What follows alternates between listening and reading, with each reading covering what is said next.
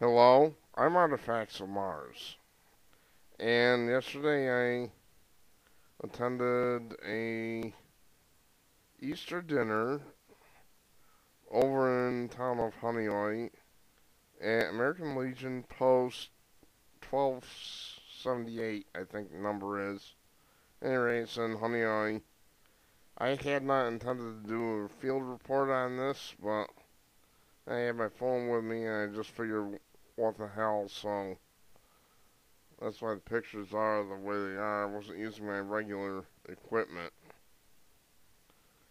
But I uh, just wanted to give special recognition to this post for putting on a wonderful home cooked dinner.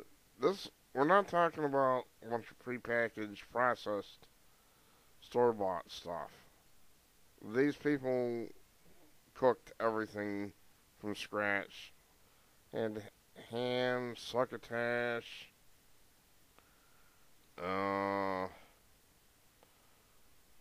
taters, of course. You can tell everything was done by scratch. So it wasn't, you know, prepackaged from the store or anything. It was just wonderful. Other than maybe the cranberry stuff, but uh, it was just wonderful.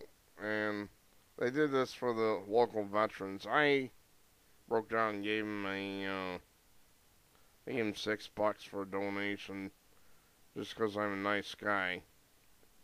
But I just wanted to give special recognition to these folks coming out and doing this.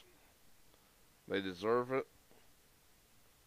American Legion is, you know, those posts are all around this area and they do a lot of good.